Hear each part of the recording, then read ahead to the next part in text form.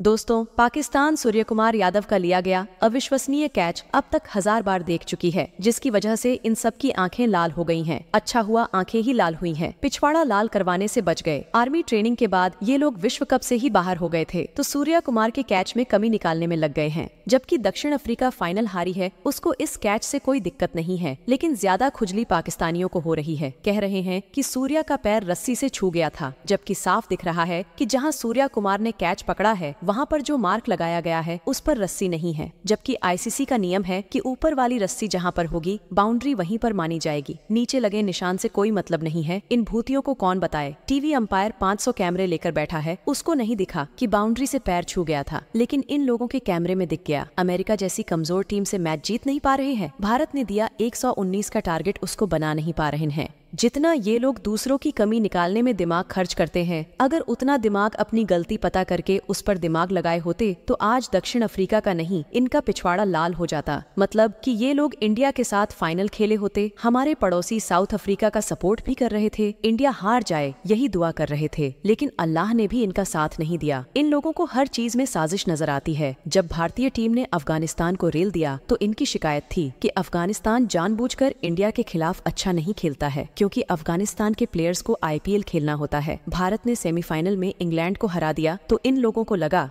कि आईसीसी ने इंडिया के हिसाब से पिच तैयार करवाई थी। पाकिस्तान वाले तो मूर्ख निकले, इससे महामूर्ख तो बांग्लादेश वाले हैं। पिछली बार फाइनल में ऑस्ट्रेलिया से इंडिया हार गया था तो बहुत सारे बांग्लादेशी नाच नाच कर अपने कमर का निचला पार्ट तोड़ डाले थे। इस बार ये लोग तैयार बैठे थे कि इंडिया हार जाए, और फिर ये लोग नाच नाच कर अपना फटा हुआ पैजामा और फाड़ ले। सोचने वाली बात है कि इतने सारे गधे बांग्लादेश कैसे पैदा कर सकता है। दोस्तों, अगर आपको भी इन पाकिस्तानियों पर अपनी भड़ास निकालनी है तो कमेंट बॉक्स में दे सकते हैं, और अपनी राय ज़रूर शेयर करें। वीडियो पसंद आया है तो एक लाइक ज़रूर करें और चैनल को सब्सक्राइब ज़रूर करें।